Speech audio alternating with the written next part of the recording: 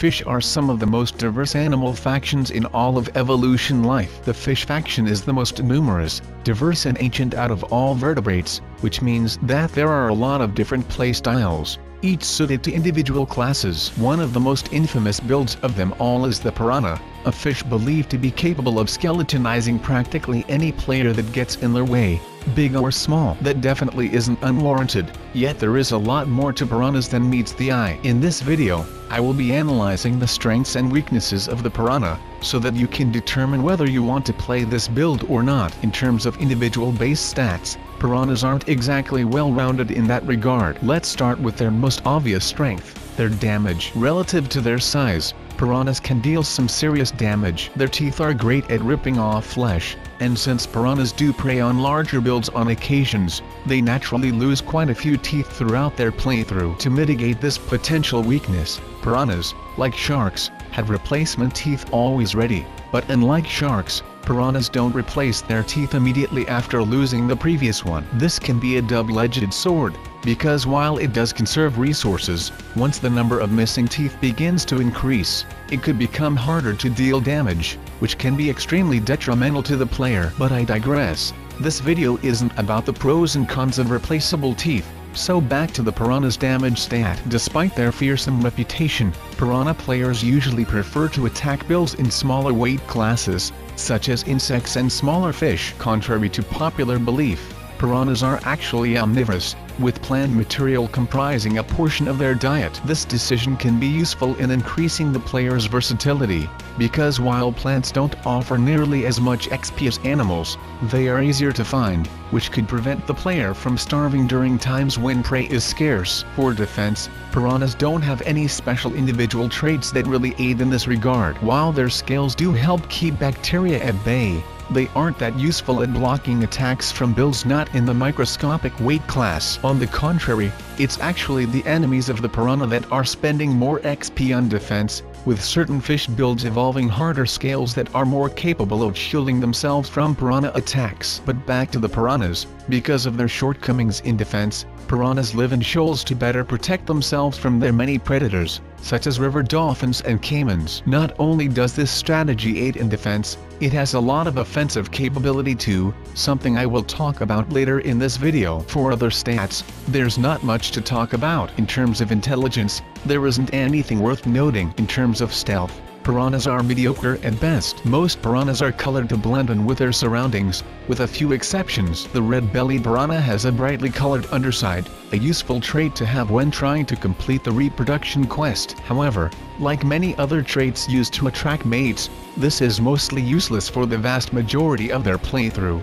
because of how it easily attracts attention to the player. In terms of mobility, the fastest piranha builds are capable of reaching bursts of 25 miles per hour, which is quite good when considering their competition. This doesn't mean that piranhas are invincible though, because caimans, one of the biggest nightmares for these players, are capable of swimming at 30 miles per hour, so maneuverability is also critical for the piranha. For life levels, piranhas aren't exactly the biggest fish in the game. The largest piranha build still playable in the Anthropocene is the 28 cm black piranha, but there are ancient species of these fish even larger such as the Mega Piranha. Okay, so now that we have analyzed the Piranha build's base stats, let's look at their special abilities. The Piranha possesses two special abilities, Bark and Blood Sense. First of all, their bark. Piranhas are capable of making barking sounds as a means of intimidation, using muscles attached to their swim bladders. This bark, coupled with their fearsome reputation, can help deter humans, but it isn't the most effective defensive intimidation when faced with other builds, because unlike some other intimidation moves, the bark is only intimidating when your opponent isn't expecting it, which means that without their fearsome reputation, the piranha's bark isn't effective against non-piranha players. The second special ability of the piranha is blood sense. Like sharks, piranhas can sense blood in the surrounding water, and in addition to this, piranhas are also sensitive to noise and splashing, two nice perks to have when trying to find falling loot such as fruits, nuts or insects. Both of these abilities are very useful to piranhas, and combined with their other stats, piranhas can be quite a formidable build. Finally, we have the most famous ability of the piranha, their shoaling. As I mentioned previously, shoaling is already a good strategy for keeping individual piranhas safer from enemies, but when coupled with the piranha's bite, the offensive capability of this trait is terrifyingly effective at skeletonizing much larger builds in mere minutes. Piranhas are exceptionally efficient during feeding frenzies. In these situations,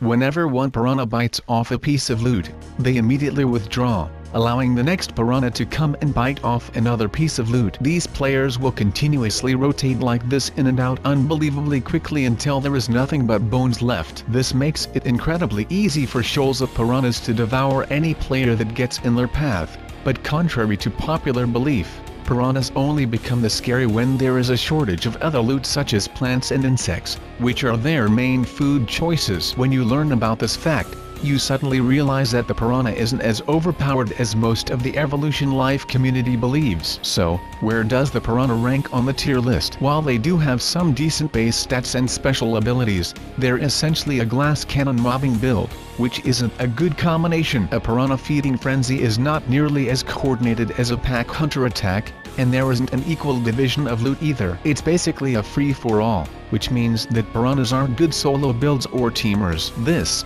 combined with their lower individual base stats, makes piranhas a C-tier build that needs to either boost their individual viability or learn to work together more efficiently as a unit rather than a mob. In fact, to ruin the image of a disciplined shoal of these players even further, piranhas have been known to kill and eat their own teammates when in desperate need for food, which means that piranha shoaling really only works when all the players are getting something out of it. The instant there is a shortage of food, everything descends into chaos. Which build would you like to see on the channel next? Let me know in the comments below hit that like button with a piranha and subscribe to my channel. Share this video with all your Caiman friends on social media. Thanks for watching and just to let you know the most aggressive species of piranha is the red-bellied piranha.